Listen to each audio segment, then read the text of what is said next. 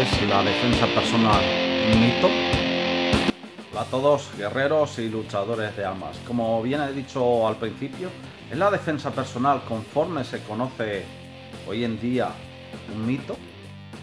Y esto venía a raíz de, una breve, un breve artículo que, bueno, lo escribía Enrique Navarro y, al cual ya desde hace bastante tiempo, pues mucha gente pues, pensamos lo mismo. ¿Por qué pensamos que la defensa personal, como se conoce hoy en día, muchísimas personas y cada vez más profesionales, pensamos que es un mito? Más bien habría que cambiarlo por protección personal. Y esto es algo que venía también en este artículo de Enrique Navarro. ¿sí?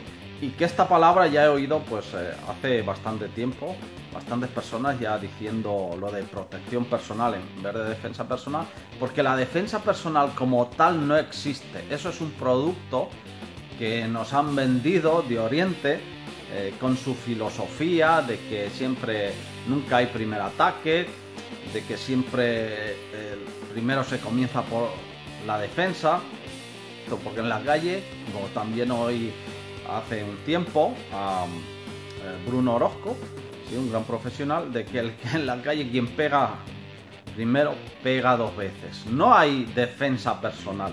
No hay defensa personal porque la defensa siempre es ofensiva.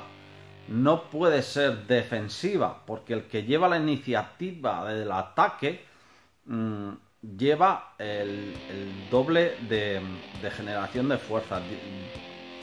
Va mucho más aventajado va mucho más aventajado porque ese es el que lleva la iniciativa. Y primero tienes que detener rápidamente el ataque y contraatacar. Y eso lleva una respuesta mucho más lenta. Porque mira, cuando tú te sometes a un enfrentamiento, tienes eh, tres, cuatro opciones. Uno, muerte, que te limpie, ¿sí? Te mate. Dos, que acabes en el hospital o acabe el otro. Y tres, la cárcel y tres la cárcel o los juzgados. O sea, eh, en el fondo mm, hay que tener mucho cuidado con esas cosas. ¿sí?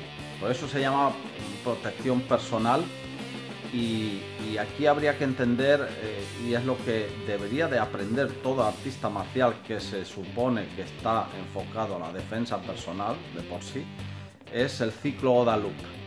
¿sí? Porque la agresión comienza mucho antes. En el ciclo Oda Loop tú aprendes del general Jess Cooper, del coronel Jess Cooper, perdón, es eh, observación, orientación, decisión y acción.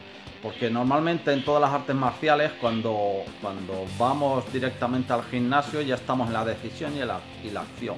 Sabemos que vamos al gimnasio, sabemos, sabemos que vamos a hacer técnicas, vamos a pelear, y tal, y entonces tomamos acción. Pero mucho antes de eso, que es donde entra lo de protección personal, y eso es algo que como digo y repito mucho, que lo debe de, aprender todo artista marcial serio que realmente tome las artes marciales como sistemas de combate, no como sistemas filosóficos eh, metidos en las estrellas, las nubes y demás.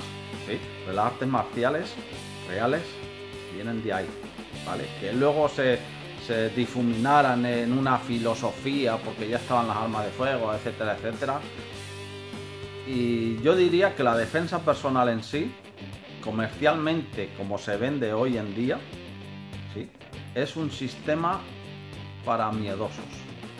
Es un sistema comercial para miedosos que quiera aprender a defenderse en la calle, pero que ni siquiera están familiarizados con, con eh, esa propia calle, ese propio entorno, pero es que además tampoco están familiarizados que este es el segundo vídeo que voy a hacer con el combate en sí o con el sparring.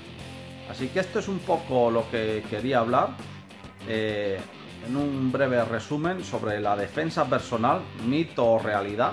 Pero ya sabes, como siempre, eh, suscríbete a mi canal de YouTube, a mis redes sociales y recuerda siempre que sin combate no hay escrima. Hasta luego, chao.